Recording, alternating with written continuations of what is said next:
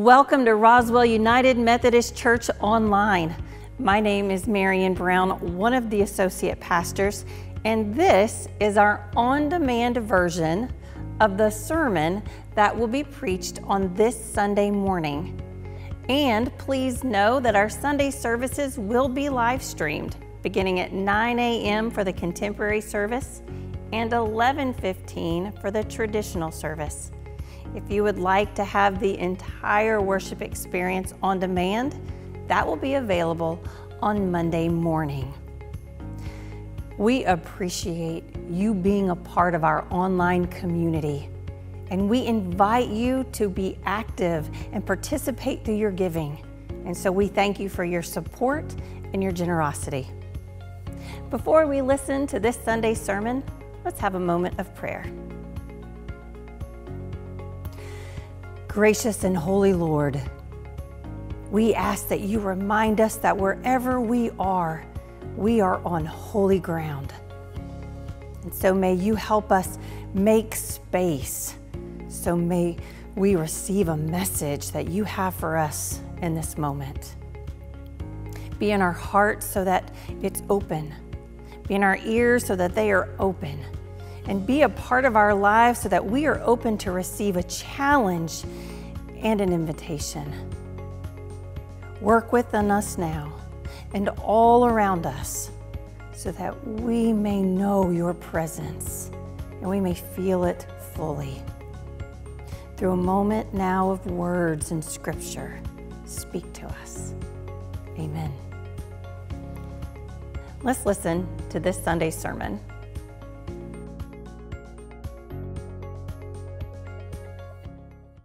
Hello, thank you for joining us today. I'm Ben Mayfield, one of the pastors here at RUMC, and I get the honor to talk about hope for our first Sunday of Advent. Today, I want to look at a powerful story in the Gospel of Luke that speaks deeply about hope, especially when we're facing struggles or challenges that seem overwhelming. The story comes from Luke chapter 8, verses 40 through 48 where we read about a woman who had been suffering for years and how she experienced both physical and emotional healing through the faith of Jesus Christ. In this passage, we meet a woman who has been dealing with a chronic illness, a bleeding condition that no doctor could heal. And for 12 long years, she suffered in silence, isolated from her community and probably, most likely, feeling hopeless. During this time, the, the woman's physical suffering wasn't just the issue. And her culture being unwell in this way was also meant considered unclean. It was cut off from society, including the temple and social gatherings. She was an outcast physically and socially. So, to really put your mind and your heart to truly understand, to empathize and sympathize with this woman, imagine having some condition that is out of your control and being cut out from every social gathering. Being in this church, you couldn't go to the temple. People walked right past you. So not only is she physically ill, she's emotionally just devastated, feeling invisible. Think about that for a moment. 12 years of, of doctors who couldn't help her, 12 years of isolation, 12 years of wondering if things would ever get better. And how often do we feel like that in our own lives? Whether it's a personal struggle or, or a family issue, or maybe the weight of, of school, of social pressures, of mental health challenges, it can feel like there's no way out, no solution, no end in sight. But in this woman's desperation, she hears about Jesus. She hears about Jesus, and she heard the stories of his miracles the blind seeing, the lame walking, the dead being raised, and she believes he can heal her too. So she makes her way through the crowd, pushing past people, determined to get close to Jesus. And she thinks, if I can just touch the edge of his robe, I'll be healed. The faith that she has, the determination she has, if I can just get close to Jesus, if I can just reach out and touch just the edge of him, I will be healed because I believe in who Jesus is. How many of us wish we had that type of passion? How many of us have been in that place where we could just reach out and we're trying to? We're trying to. But here's what's so powerful her faith, even in its simplicity, made all the difference. She didn't need Jesus to lay his hands on her, to speak a prayer over her, or to call her out in front of everyone. She simply believed that touching his clothes was enough. And as soon as she touched him, immediately her bleeding stopped. Now, here's something that, that might surprise you. Even though the crowd was huge, Jesus felt the touch. He stopped and asked, and he said, Who touched me? And the disciples were, were confused. The crowd was pushing from all sides, and, and how could he know? But Jesus knew because her faith drew his attention. This woman came forward trembling as she had been healed and Jesus responds saying, Daughter, your faith has healed you. Go in peace. Luke 8 48. And in that moment, her physical healing was completed. But even more importantly, please hear this, even more importantly, Jesus spoke peace into her life and calling her daughter, giving her a new identity and a restoration that just went beyond her body. So it makes you go, well, what can I learn from this story?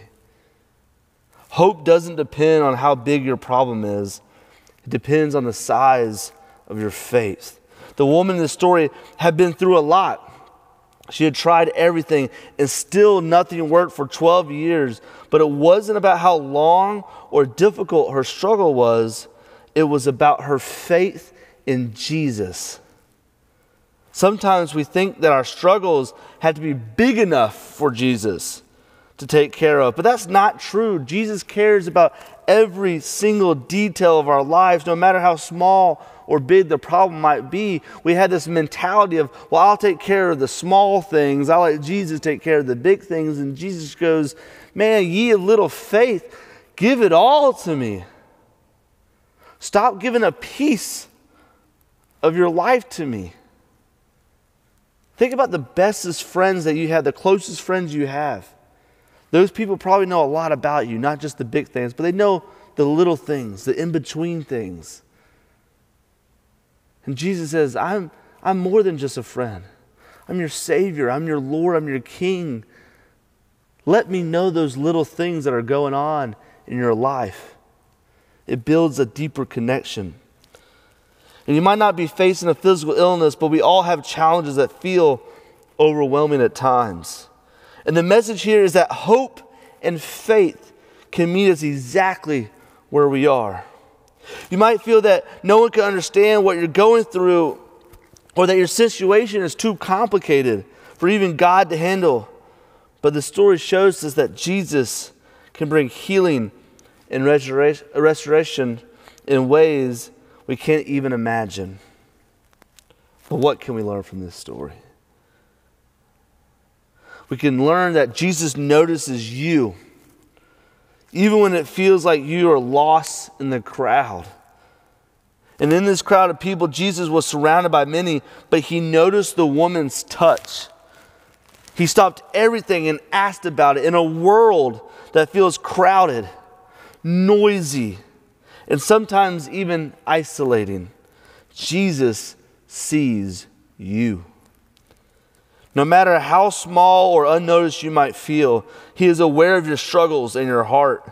And when you reach out in faith, He's paying attention. Because that's the type of Savior that we serve. Is someone who notices you, especially when we're reaching out.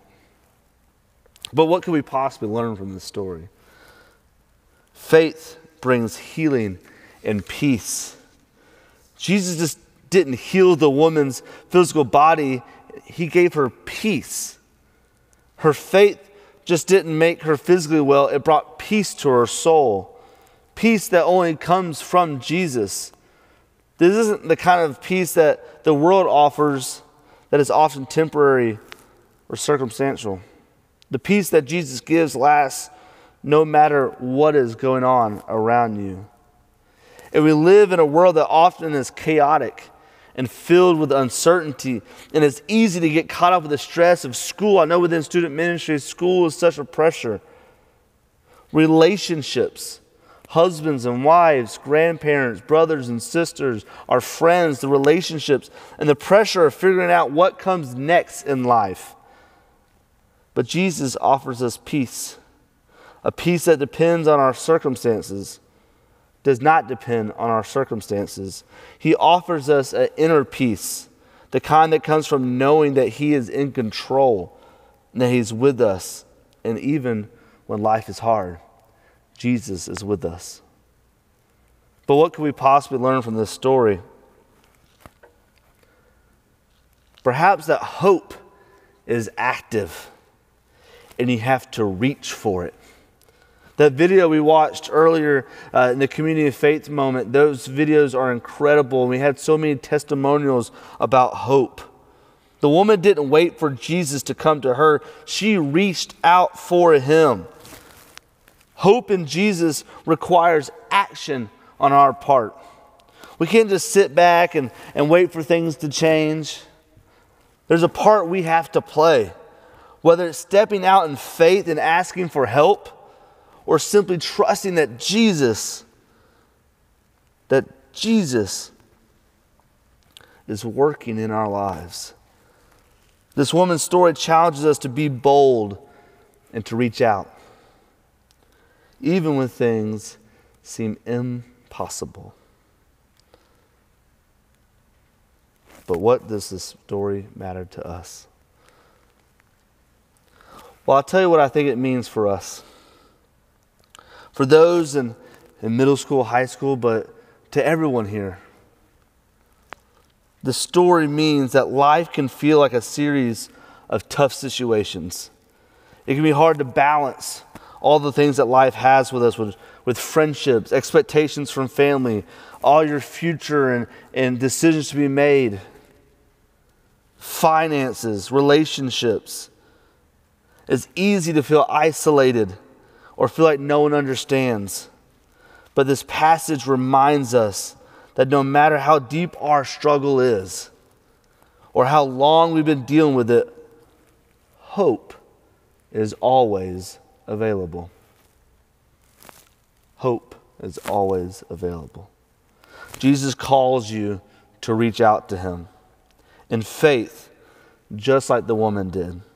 He sees you, he knows you, he offers you healing, not just for your physical or external struggles, but for your inner peace, your identity, and your purpose. He doesn't just offer temporary fixes, He offers lasting peace and hope. Whatever you're facing today, take heart. Jesus can heal your heart and bring you peace, and that is a hope that is a deep hope that God offers. And even in the midst of the most challenging times, you can hold on to the fact that hope that He is always with you. And He notices you and He cares. Why does this story matter? Because it's a story that allows us to, to realize and experience that we are loved, valued, and known by Heavenly Father. And that's a hope that makes me want to keep on moving forward and reaching out towards Jesus. Amen. Thank you so much for joining us online. It is a blessing to have the gift of technology to have sermon this way. We thank you for participating. And just a reminder if you want to see the live services, 9 a.m. on Sunday for contemporary and 11:15 Sunday morning for traditional services. And always we will have the full on-demand worship experience on Monday morning. And if there's ever a time that you would like to join us here at the physical location, we're located at 814 Mimosa Boulevard, Roswell, Georgia. We want to be connected with you. If you have a prayer request, please let us know by emailing pray at rumc.com. And we would love for you to be a part of our ministry through your giving. If you would like to support our campus and our ministries, you can do so at rumc.com slash give. And now hear these words of a benediction. Love without fear, serve with commitment, and in the name of the Father, Son, and Holy Spirit, go in peace. Amen.